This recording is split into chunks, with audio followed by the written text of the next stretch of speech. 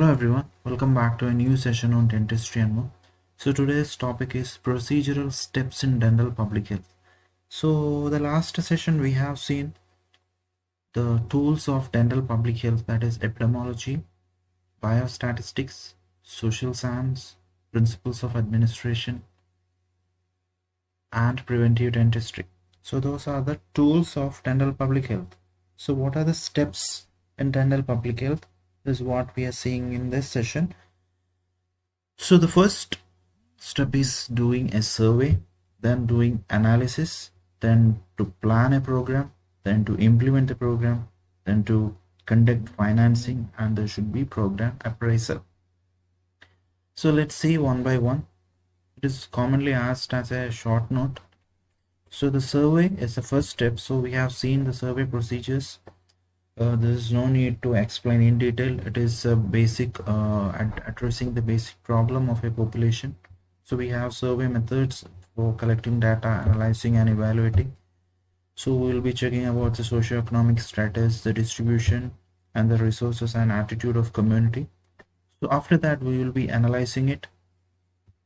So defining the specific health problems and uh, the data we will be checking and where exactly the problem is affected.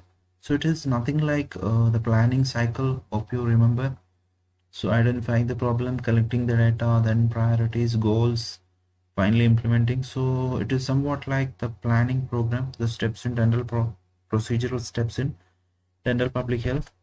So the third thing is program planning. So after analyzing and survey and analyzing we plan a program the design program should be accepted by the community and the people should show an interest. And it has to be ensured that the community is well informed about the program and that they participate in all the steps involved. Then only this program will be beneficial. So after program planning we need to implement it that is program operation. So a public health team constituting professionals and various disciples employed for executing the program, just like water fluoridation in a community with high prevalence of dental caries. So we had uh, that example during our planning cycle, the prevalence of dental caries in a community, so how to approach it. So just like that, we need to operate it very effectively.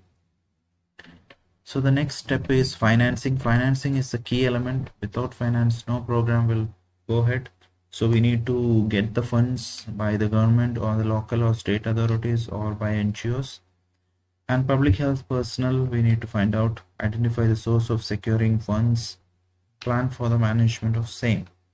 Financing is very important.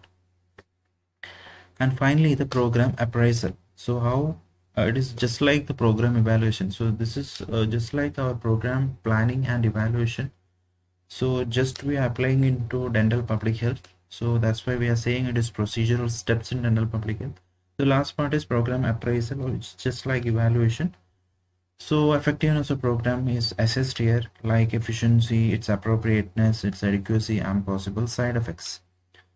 So that's all about uh, the procedural steps in dental public health. So it's a very simple one just like program planning and evaluation.